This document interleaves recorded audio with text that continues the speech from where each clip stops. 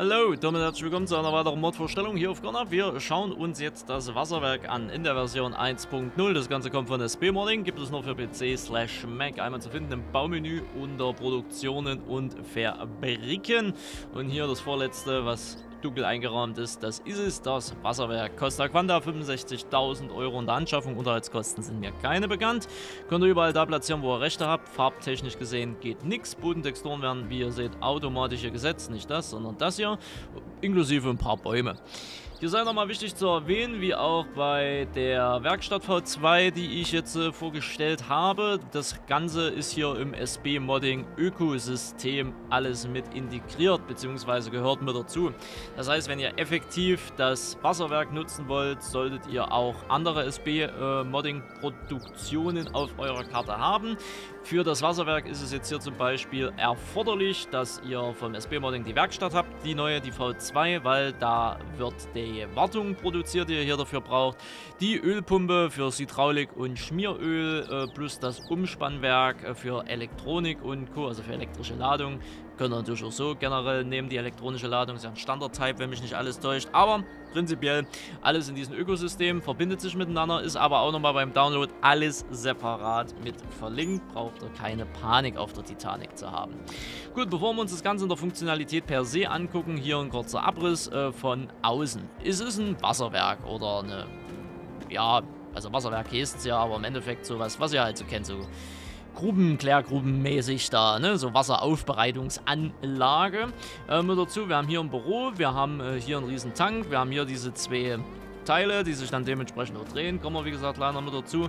Äh, wie bei der Werkstatt auch, beziehungsweise ich sag mal wie bei SB Modding generell in den Produktionen ist alles betretbar, bespielbar und Co. Also für Roleplay-Leute ideal mit äh, geeignet. Ne, ihr könnt hier überall mit rumgehen. Sieht texturtechnisch gesehen alles toppy aus. Hier sind auch Wege und Co. mit angelegt äh, wo dann alles hin ist.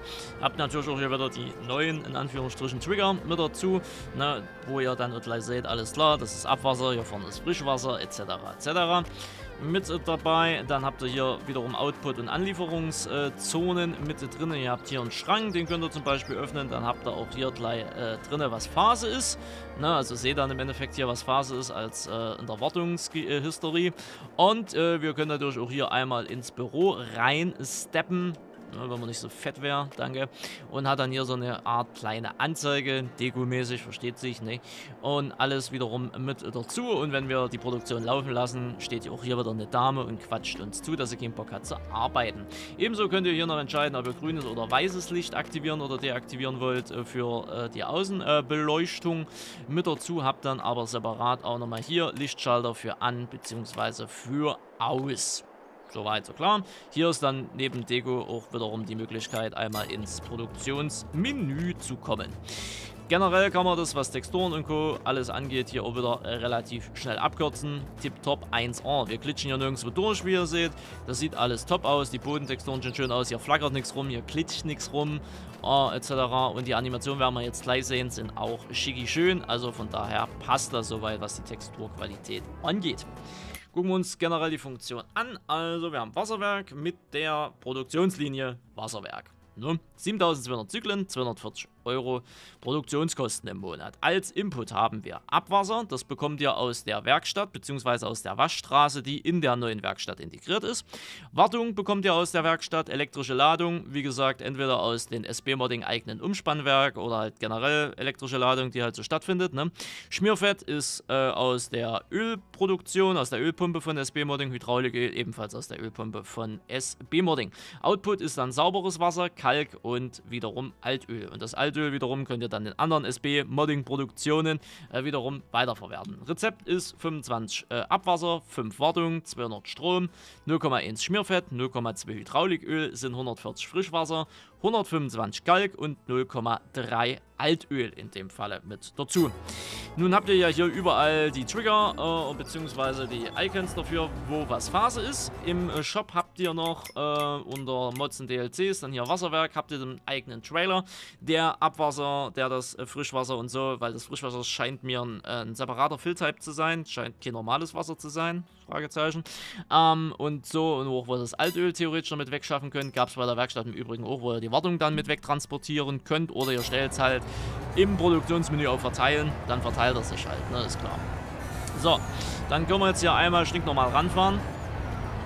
Und sobald ihr hier über der Triggerfläche seid, könnt ihr dann einmal I drücken und dann wird das Ganze halt aufgefüllt, ne, beziehungsweise halt übertragen, beziehungsweise überladen.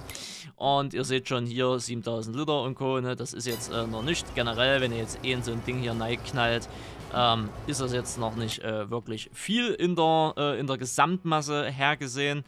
Ähm, aber ich lasse es jetzt trotzdem eh mal hier komplett durchlaufen, dass ich den Trailer wenigstens wieder leer kriege mit dazu.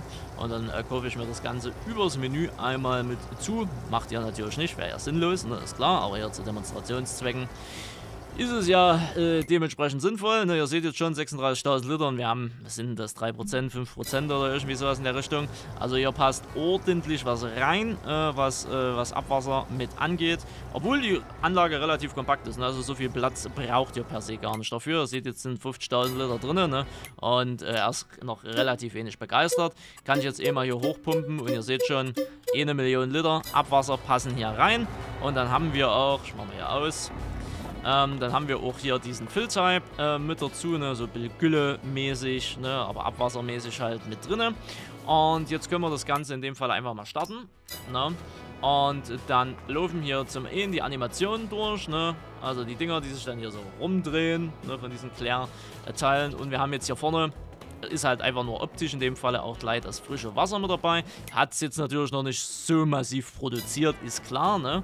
Und wie gesagt, hier drinnen ist jetzt auch wieder die Dame, die halt keinen Bock zu arbeiten hat und was sie uns dann äh, dementsprechend auch permanent mitteilen muss.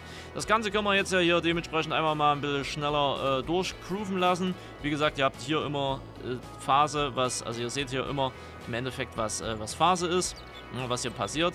Und ihr seht schon hier im, ähm, im Output-Ding äh, kommen dann auch einmal Geschichten hier mit dazu, die ihr halt mit benutzen könnt. Das ist jetzt der Kalk in dem Falle der hier mit drin ist, soll man ja auch behalten und der wird auch relativ schnell slash aggressiv produziert, genauso wie das Wasser und das Altöl hier relativ schnell und aggressiv produziert wird.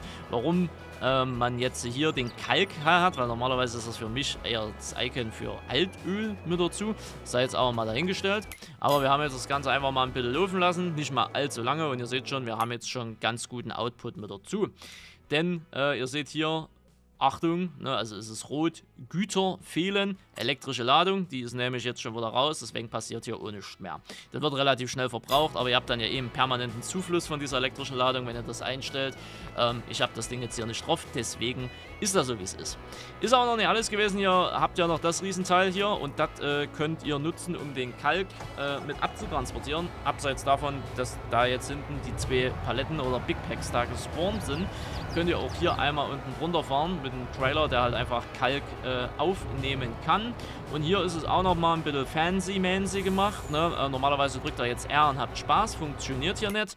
Dafür habt ihr nämlich hier einmal noch ein separates Icon, dieses riesen Fragezeichen. Könnt ihr einmal jetzt hier Ladevorgang starten und dann seht ihr, kommt der Kalk jetzt hier oben einmal mit raus in flüssiger Form, also in Schüttgutform in dem Falle und äh, könnt das Ganze dann hier einmal mit aufladen. Ich wie gesagt, kann man nicht sagen, ja, du hast keinen Bock, ich weiß schon. Äh, wie gesagt, hier hinten müsste eigentlich Altöl nach der Logik kommen. Warum da jetzt Kalk steht, keine Ahnung. Kann vielleicht auch noch ein kleiner Fehler sein. Kann dann über einen Hotfix gegebenenfalls gefixt werden. Oder ich bin einfach noch zu blöd. Kann natürlich auch sein. Ähm, aber ja, prinzipiell holt er dann hier den Kalk raus. Habt Spaß und äh, freut euch halt in Loch ins Bett. Soweit, so klar, so schick, so schön. Mehr macht die Anlage nicht, mehr soll die Anlage auch nicht machen. Wie gesagt, ergibt nur Sinn im, äh, im Produktionsökosystem von SB-Modding. Habe ich aber euch nochmal separat alles auch beim Download fein, säuberlich verlinkt. Es lohnt sich auf jeden Fall, weil die Produktion per se, also ne, die machen Spaß, sehen gut aus, sind bespielbar, ähm, sind zwar ein bisschen groß, da kommen wir nämlich jetzt hier auch gleich mit dazu. Äh, lila Lok, äh, ihr seht, wir haben jetzt hier irgendwas mit, äh, mit zwei No-Fill-Type indexed für, für Lime Found Palette. Das kann ich mir nur das hier hinten vorstellen, dass da irgendwas äh, schief gelaufen ist. Ne? Ansonsten ist das Ding sauber. Ähm, Dateigröße ist natürlich wieder so ein, so ein Punkt. Wir reden hier schon gut von dreistellig. Ne? Gut, wir haben Top-Texturen, wir haben Animationen und alles mit dabei. Könnte man gegebenenfalls weiterhin, also wenn es jetzt dreistellig war, ne, ich kann mich auch täuschen, hier sitzen aber auch nochmal, aber prinzipiell alles im Rahmen, hier leckt nichts rum, müsste eigentlich mit, äh, mit euren Rechnern soweit auch passen, aber gegebenenfalls ausprobieren. Gerade wenn ihr auch noch einen schwachen Dedicated Server oder so habt, gucken. Ne? Aber ihr seid ja nicht auf den Kopf gefallen. Ne? Deswegen. Ja, Download-Link inklusive Bewertung ist wie immer in der Videobeschreibung verlinkt. Ich danke fürs Zuschauen. Wir sehen uns dann im nächsten Video wieder, wenn ihr mögt. Lasst ein Däumchen Abo da, wenn es euch gefallen hat. Und bis dann, haut rein. Tschüssikowski. Tschüss.